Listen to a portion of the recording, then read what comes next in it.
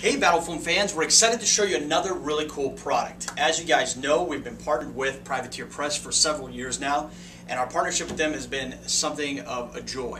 Uh, the main reason for that is that they're always releasing amazing models and really great products, and that the fact that they've uh, entrusted us with taking care of their transportation needs and being allowed to have the great logo of Privateer Press on our bags is something amazing. So for that, we continue on with the releases of their cool bags. Uh, and what I mean by that is we have to go bigger.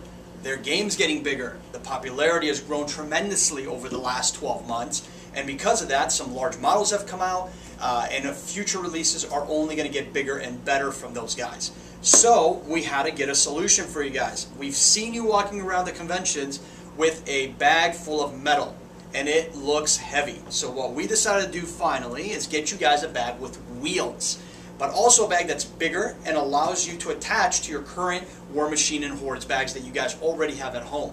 Also the P3 bag will easily fit on top of this. So let's get over and show you the bag and how it works. So first of all, you'll notice that you have the durable hard sides. Keep that in mind. Now our competition out there says that their bags are stronger and tougher. Fact is, our bags have been proven to last and be more durable. And on top of that, you have a warranty.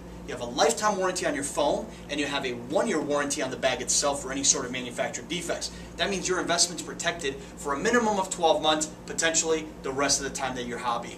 So what's cool about this bag is you have the hard, durable inner shell. I mean, this thing is rock solid. Along with that, let's look at some of the different items and pockets and knickknacks that this bag has. Besides the gorgeous, huge logo on here. Now, what did they say at Privateer Press? You know you better have a pair to play their game. That logo is showing that you got a gigantic pair, let me be honest with you. If you open the top here, and you look inside, we actually thought of something really cool. The reason why we had to have a really large pocket in the front here was because you have to be able to get to the actual items inside.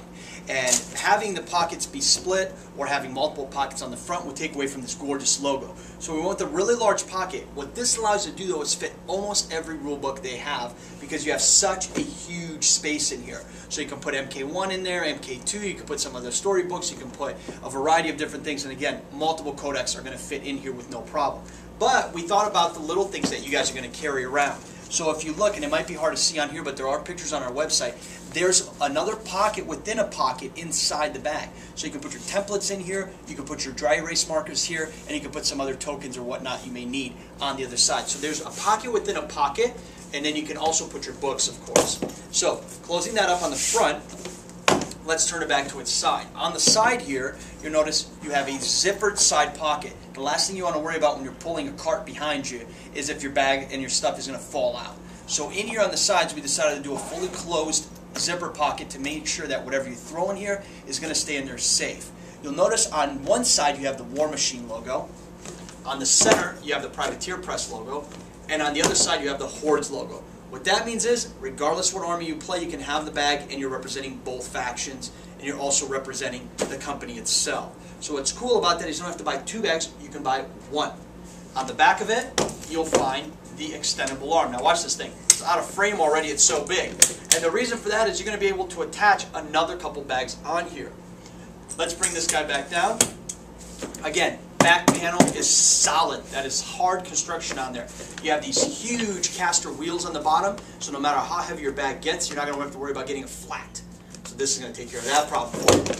Now, if you spin the bag around, you're going to get inside and look at the foam loadout. So, opening it up, this opens up like a chest. And the reason why this opens up like this is so that when you have this panel down, you don't have to worry about this thing flopping around in the wind on you. It's just going to be down out of the way. And the trays inside simply just pull right out, like so. Now, here's the loadout you're going to get with this bag. So inside of here, you're going to find three of the regular troop trays, three of the medium trays, which a lot of you guys have asked for, and one larger jack tray so you can stand your jacks up inside of it. So currently, the jack tray that's already in the case, in your battle foam cases slash war machine case, is going to be a little smaller than this. This is going to be taller and allow for some of the taller models. And with the three mediums, you can hot swap these out of your regular war machine bag. This is the same exact footprint as your regular war machine bag. So you can put different things in here. This will also work great for the half trays. The half trays are for any of your battle engines or large beasties. You can put half tray here, half tray here, regular trays, big beasts, all kinds, and mix and match. So that's going to have a variety of different options for you. And this is the kit that you get with every single bag. Now, going and putting this back up, let's look at how this thing functions. Now, this is going to be a little tough because we're out of frame here a little bit. But one thing you'll notice on the sides is that you have these heavy-duty metal hooks with a three-stitch uh, connection to the bag. What that's going to allow you to do is attach your other War Machine and Privateer press bags from us. So, we're going to grab this regular War Machine bag here. Let's see if I get both these guys in there. And what you're going to want to do is you're going to want to attach it. Now, if you remember, all War Machine bags have this zipper system on it that attaches to the P3 bag. The cool thing about that is it allowed you to put a P3 bag on the bottom of the War Machine bag and carry it around. But what about attaching it to this? Now you'll notice there's no zipper on here. There's a reason for that. Because the bottom of the P3 bag does not have a zipper on it, what we didn't want to have happen is someone attach their P3 to the War Machine bag and then not be able to attach it to this bag. So what we decided to do is come up with a clever solution that actually acts as a shoulder strap slash binding. So what we'll do here is show you guys these heavy duty straps. Now if you look, these have heavy duty metal bindings on them and also a really solid Velcro strip across. What happens is these will clip right onto the top of this and it can either act as a shoulder strap. Now you will get two of these. So you can either have these on like a shoulder strap. And we'll put these on here real quick. You can either use these as shoulder straps and carry this just like that over your shoulder, or you can use it to cinch up your bigger bag. So what we're going to do here is we're going to go ahead and unpop these there, just like that. Let me take this one off, just like that. We're going to take our War Machine bag, and I know you've lost me, but keep an eye here. We're going to line these up so they're perfectly straight. And I am completely out of frame. I already know that. We're going to go ahead, and if you can't see this, we're going to adjust these down by clipping them in place, cinching everything tight, like so. And what you'll notice is, because this is a tearaway Velcro, you don't have to worry about it being difficult to cinch down. You simply just run it over the top of the bag. And again, I apologize that you guys can't see every exciting moment of this, but take my word for it, it cinches on really good here, and I'll show you in a second. I'm going to pull that down like so. And because you have a durable hard shell case on top here, you don't have to worry about cinching this down too tight and it squishing your back. It's not going to do that. It's not going to squish anything because you don't have to worry about it getting all pressed down because you have a hard shell. So, now that we put this thing down, let me go ahead and show you how the handle goes up. The handle goes up right behind it, and if you have a P3 attachment in the middle, goes up high enough for you to be able to actually have the P3 in the bottom of it.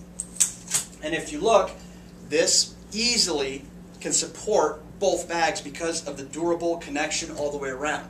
You can also still get to your pockets on the side without having to take it apart.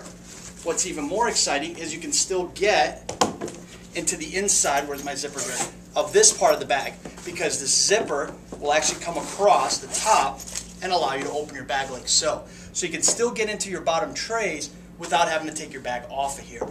You want to close it back up, zip it, and you're done. So, if you want to remove it all together, boom, pop your handles off, put this aside, put this down, unclip these, or better yet, just use them as a shoulder strap. And now you are done and ready to rock. Pull this behind you, pick it up, do whatever you need, and you're fitting a boatload of miniatures inside this hard case. So, check this out on our website. It's available for pre-order. It comes out this fall. We look forward to seeing you guys. Thanks very much.